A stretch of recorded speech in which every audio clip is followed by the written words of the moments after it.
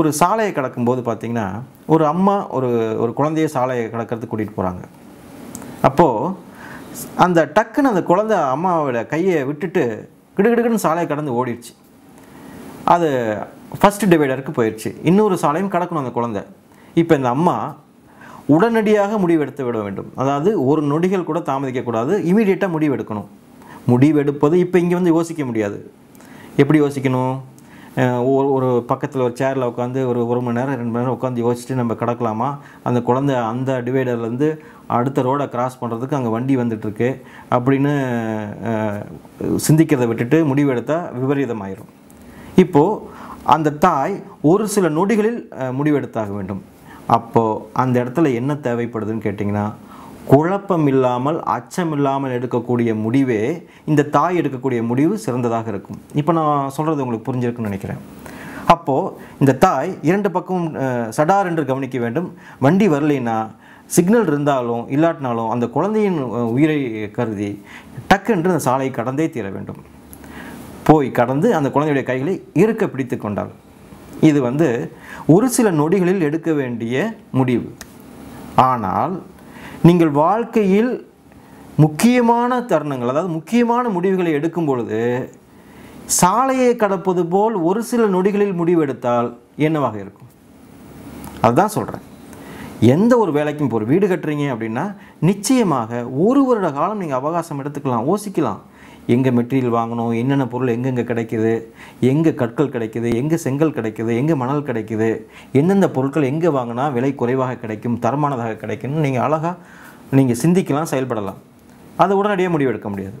இப்போ ஒரு கார் வாங்குறதா இருந்தாலும் சரி வாழ்க்கையில் எல்லா சம்பவங்களுக்கும் சரி எந்த முடிவு எடுத்தாலும் நீங்கள் எடுக்கக்கூடிய முடிவு வெற்றியை தர வேண்டும் என்று சொன்னால் நீங்கள் நிச்சயமாக அச்சம் கொள்ளக்கூடாது பயம் கொள்ளக்கூடாது. அச்சம் கொண்டால் பயம் கொண்டால் என்னாகும் என்று ஒரு சரித்திர உண்மையை சொல்கிற கேளுங்க. குழந்தைங்கிட்ட கேளுங்க. நிலவில் முதல் முதலில் காலடி எடுத்து வைத்தவர் யாருன்னு கேட்டால் நீல் ஆம்ஸ்ட்ராங் சொல்லுவாங்க. ஆனால் நீல் ஆம்ஸ்ட்ராங் இல்லை. நீல் ஆம்ஸ்ட்ராங் காலை எடுத்து வைத்தது உண்மைதான். ஆனால் முதல் முதலில் விண்வெளியில் காலை வைக்க வேண்டும் என்று ஆசை கொண்டவர் அதற்கான முழு ஏற்பாடையும் செய்தவர் விண்வெளியை ஏற்பாடு செய்தவர் விண்வெளியில் பைலட்டாக சென்றவர் ஆல்வின் எட்ரிசன் என்பவர்தான். ஆல்வின் எட்ரிசன் என்பவர் தன்னுடைய கோ பைலட்டாகத்தான் நீல் ஆம்ஸ்டாகை அழைத்து செல்கிறார். நீல் ஆம்ஸ்டாங் கொஞ்சம் துணைக்கு வா. நான் நிலாவில் காலடி எடுத்து வைக்க போகிறேன் என் கூட கொஞ்சம் துணைக்கு வந்தீங்கன்னா நான் மட்டும் தனியாக போகிறேன்ல கொஞ்சம் துணைக்கு வா அப்படின்னு சொல்லி கூப்பிட்றாரு. அப்போ நீல் ஆம்ஸ்டாங் கூட வராரு.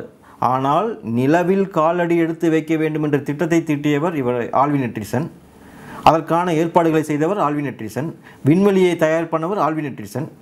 ஆனால் விண்வெளியில் இறங்கியவுடன் கீழே உள்ள கட்டுப்பாட்டு அறையில் த்ரீ டூ ஒன் இறங்கலாம் என்று சொல்லும் பொழுது அங்கே முடிவெடுக்க தயங்கினார் ஆல்வின் எட்ரிசன்.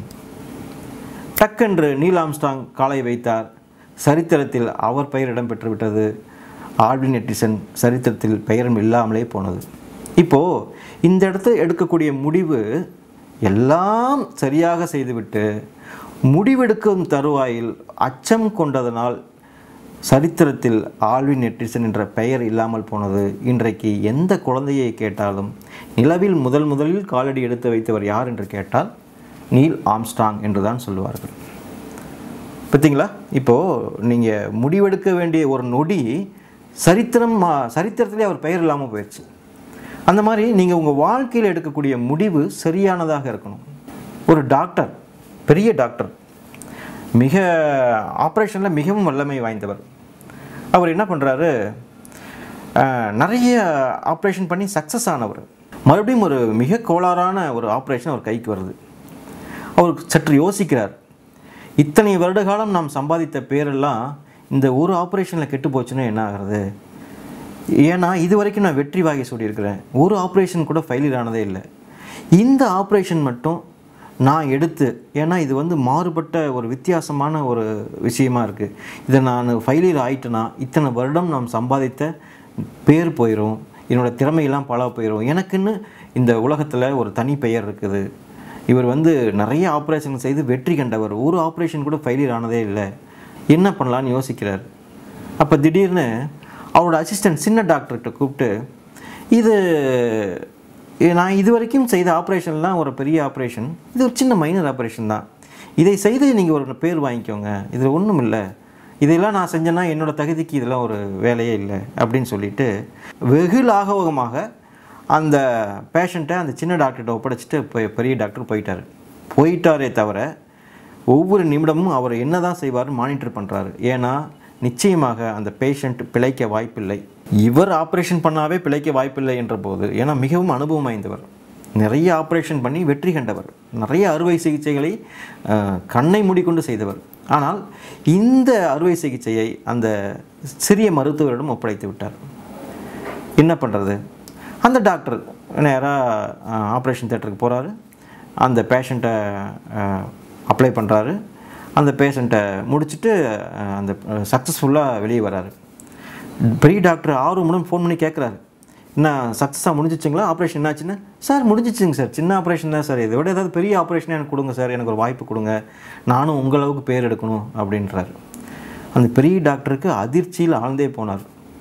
இதற்கு என்ன காரணம்? அப்படின்னு பார்த்தீங்கன்னா சின்ன டாக்டரோட மனசில் குழப்பம் இல்லை பயம் இல்லை. அவரோட மனசில் என்ன இருந்துச்சு? ஒரு சின்ன ஆப்ரேஷன் கொடுத்துட்டாரு போய் போய் இதை கொடுத்துருக்காரு. ஏதோ பெரிய ஆப்ரேஷன் கொடுத்தா நம்மளும் அவரை போல் ஒரு பேர் வாங்கிடலாமே அப்படின்னு. இப்போ குழப்பம் இல்லாமல் அச்சம் இல்லாமல் செய்யக்கூடிய வேலையை வெற்றி தரும். இதுதான் இப்போ இந்த உதாரணங்களை சொல்கிறேன் அப்போ குழப்பம் இல்லாமல் அச்சம் இல்லாமல் செய்யக்கூடிய வேலை எதுவாக இருந்தாலும் உங்களுக்கு வெற்றி தரும்னா அப்போ அடுத்த முடிவெடுப்பதும் ஈஸியாக தான் இருக்கும் உங்களுக்கு. சரியா? இந்த வேலை செய்யலாமா செய்யக்கூடாதுன்னு உங்கள் ஆள் மனசு முதல்ல சொல்லும். இது வேண்டாம் செய்ய வேண்டாம் செய்ய வேண்டாம் இல்லை செய்யி உனக்கு எந்த பிரச்சனையும் வராதுன்னு அந்த மனமே உங்களுக்கு சொல்லும். ஏன்னா சைக்காலஜிஸ்ட் என்ன சொல்கிறாங்கன்னா நீங்கள் எந்த ஒரு வேலையை செய்தாலும் உங்கள் ஆழ்மனம் அமைதியாக தெளிவாக இருந்தால் நிச்சயமாக அந்த வேலை நேர்மையானது அப்படின்னு சொல்கிறாங்க நீங்கள் ஏதாவது ஒரு வேலை செய்கிறீங்க உங்கள் ஆள் மனசு படபடப்பு இல்லாமல் எந்த ஒரு டென்ஷனும் இல்லாமல் அமைதியாக சந்தோஷமாக அந்த வேலையை செய்கிறதுக்கு உங்கள் மனம் முற்பட்டால் நிச்சயமாக அந்த வேலை நேர்மையான வேலை நல்லதாக அந்த வேலையை வெற்றியோட முடியும்னு சொல்கிறாங்க படபடப்பு இருந்துச்சு குழப்பம் இருந்தது என்று சொன்னால் நிச்சயமாக அந்த வேலையில் ஏதோ தவறு இருக்கிறது. இல்லையே நீங்கள் தவறு செய்ய போகிறீர்கள் என்று அர்த்தம். நன்றாக கவனிக்கணும். என்னுடைய வார்த்தை வார்த்தைகளை நீங்கள் நல்லா கவனிக்கணும். நான் சிறு வயதில் இருக்கும்போது நான் என்னுடைய சித்தப்பா வீட்டில் வளர்ந்தேன். அப்போது அவர்கள் புதிதாக வீடு கட்டி கொண்டிருந்தார்கள். அந்த வீடு வாங்கிய இடம் அதாவது சைட் அப்படி பார்த்திங்கன்னா நிறைய நீர்க்குட்டைகள் தேம்பிய இடம் அதாவது டெவலப்மெண்ட் ஏரியா அப்போ அவங்க புதிதாக வீடு கட்டும் இடத்துல நிறைய செங்கல்கள் கம்பிகள் சிமெண்ட் மூட்டைகள் மணல்கள் கற்கள் போன்ற விலை உயர்ந்த பொருட்கள்லாம் அங்கேயே இருக்கும். அங்கு திருடு போகாமல் இருப்பதற்கு பாதுகாப்பாக இரவு நேரத்தில் நான் அங்கே உறங்க செல்வது வழக்கம். ஒரு நாள் இரவு நான் உறங்கிக் கொண்டிருந்தேன். காலையில் உறங்கி ஒரு ஆறு மணி ஏழு ஏழு மணிக்கெலாம் நான் எந்திரிச்சிடணும். ஏன்னா நான் பள்ளிக்கு போகணும் இல்லையா? அதனால் ஒரு ஆறரை முதல் ஏழு மணிக்குள்ளே நான் எந்திரிச்சிட்டேன். எந்திரிச்சு என்னுடைய பாய் அதற்கு கீழே சாக்கு. ஏன்னா கொஞ்சம் ஈரமான இடங்கிறதுனால கொஞ்சம் மணல் மேலே படுக்கிறதுனால கீழே சாக்குகள் அதுக்கு மேலே ஒரு பாய் அதுக்கு மேலே ஒரு பெட்ஷீட் அதுக்கு மேலே தலகாணி. இப்படியாக உறங்கி கொண்டிருந்தேன். காலையில் ஒன்று ஒன்றா மடித்து வைக்கணும் மணல்லேருந்து அப்படி ஒன்று ஒன்றாக மடித்து கொண்டே இருக்கும் பொழுது என்னுடைய தலையணைக்கு கீழே ஒரு ஆறடி பாம்பு சுருண்டு படுத்து கொண்டிருந்தது. நான் நாலடி எகிரி அங்கே விழுந்தேன். எப்படி? விடிய விடிய அந்த பாம்புக்கு மேலே தான் நான் தூங்கி கொண்டிருந்தேன். ஏன்? கிட்டத்தட்ட என்னுடைய தலை அந்த பாம்புக்கு மேலே இருக்குது அந்த பாம்பு சூடுக்காக என்ன பண்ணியிருக்குன்னா அந்த தலையணைக்கு கீழே வந்து சுருண்டு படுத்து கொண்டிருந்திருக்கிறது. அது தெரியாமல் விடிய விடிய தூங்கினேன். ஆனால் விடிந்து அந்த பாம்பை பார்த்தவுடன் நாலடி எகிரி அங்கே போய் விழுந்தேன். இதற்கு என்ன காரணம் அப்படின்னா நான் அடிக்கடி யோசனை பண்ணி பார்ப்பேன். மனம் என்கிற ஒரு பெரிய விஷயம்தான் நம்மை ஆட்கொள்கிறது. மனம்தான் நம்மளை அத்தனைக்கும் காரணம். நம்ம பயம் குழப்பத்திற்கு காரணம். தொண்ணூற்றி ஒன்பது சதவீத கார் விபத்து எப்படி ஏற்படுகிறது என்று சொன்னால் பயம் அச்சம் பயம் அச்சம் குழப்பம். சரி இப்போது அடுத்த சப்ஜெக்ட் இது வரைக்கும் நான் பேசிகிட்டு இருந்தது என்னென்னு பார்த்தீங்கன்னா குழப்பம் வேண்டாம் அச்சம் வேண்டாம். அச்சம் இல்லாமல் குழப்பம் இல்லாமல் நீங்கள் முடிவெடுங்கன்னு சொன்னேன். இது என்னுடைய விதிகளில் number one number two simple ஒரு ஏ ஃபோர் பேப்பர் எடுத்துக்கோங்க. அதில் ஏ அப்படின்னு லெஃப்டில் பி அப்படின்னு ரைட்டில் எழுதிக்கோங்க. என்ன இப்போ நீங்கள் என்ன முடிவு எடுக்கிறீங்க அப்படின்னு பாருங்கள் இப்போ உதாரணத்துக்கு நான் சொல்ல ஒரு உதாரணங்கள். ஒரு அப்பார்ட்மெண்ட்டில் வீடு வாங்குறீங்க. இல்லை நீங்கள் சொந்த இடம் வீடு வாங்குறீங்க. இல்லை பெங்களூரில் ஒரு வேலை கிடச்சிருக்கு இல்லை சென்னையில் ஒரு வேலை கிடச்சிருக்கு. ஏதோ ஒரு வேலை. நீங்கள் வாழ்க்கையில் எடுக்க வேண்டிய முடிவு எதுவாக இருந்தாலும் அதை எழுதிக்கோங்க. இப்போ உதாரணமாக பெங்களூரில் வேலை கிடைத்தது ஏ. பி சென்னையில் வேலை கிடைத்தது. இப்போ எழுதிட்டே வாங்க. பெங்களூருக்கு வேலைக்கு போனால் என்னென்னலாம் நன்மைகள் கிடைக்கும்?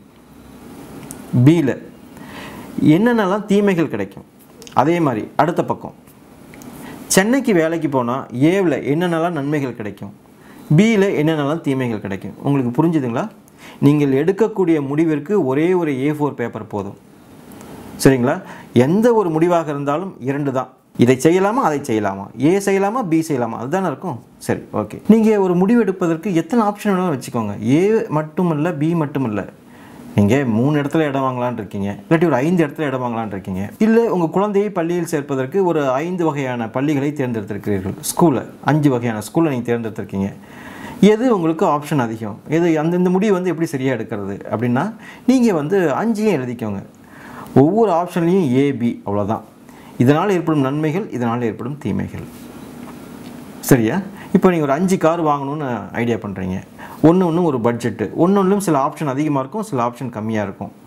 அஞ்சு வகையான காரில் எழுதிக்கோங்க. எழுதி அந்த காரில் என்ன இருக்குது என்ன இல்லை? இதில் என்ன இருக்குது என்ன இல்லை? இப்போ நன்மைகள் தீமைகள் அதனுடைய ப்ளஸ் ஆர் மைனஸ் நீங்கள் போட்டே வந்தீங்கன்னா கீழே கிடைக்கக்கூடிய டோட்டலில் நீங்கள் நிச்சயமாக ஒரு நல்ல முடிவு எடுக்கலாம் ஆக உங்கள் வாழ்க்கையில் நீங்கள் முடிவெடுக்க வேண்டிய தருணங்களில் முதலாவது விதியையும் இரண்டாவது விதியையும் பின்பற்றுங்கள். ஆப்ஷன் எத்தனை வேணாலும் இருக்கட்டும். நீங்கள் முடிவெடுப்பது ஏ பி அப்படி கூட இல்லாமல் நீங்கள் வந்து ஒரு மூ மூணு இடத்துல வீடு வாங்குறீங்க. இல்லை ஒரு நான்கு வகையான கார்களை பார்த்து வச்சுருக்கீங்க. இல்லை ஒரு ஆறு ஏழு வகையான ஒரு ஸ்கூலை தேர்ந்தெடுத்து வச்சுருக்கீங்க உங்கள் குழந்தைகளுக்கு. அப்படின்னா நீங்கள் எல்லாத்தையும் ஒரு ஏ ஃபோர் பேப்பரில் மேலே எழுதி ஏ இதனால் ஏற்படும் நன்மைகள் பி இதனால் ஏற்படும் தீமைகள். அவ்வளோதான் எது உங்களுக்கு ப்ளஸ் எது மைனஸ் இந்த திட்டமிடல் வந்து சரியாக இருந்தால் கீழே டோட்டல்லையே உங்களுக்கு தெளிவான ஒரு முடிவு கிடைச்சிரும். அதன்படி நீங்கள் பின்பற்றினால் நிச்சயமாக நீங்கள் எடுக்கக்கூடிய முடிவு மிகவும் சுலபமாகவும் வெற்றியை தரக்கூடியதாகவும் இருக்கும். உங்கள் வாழ்க்கையில் எடுக்கக்கூடிய முடிவுகள் அத்தனையும் வெற்றியை கொடுக்க வேண்டும் என்று வாழ்த்துக்களோடு விடைபெறுகிறேன். மீண்டும் ஒரு நல்ல பதிவில் சந்திக்கிறேன். நன்றி வணக்கம்.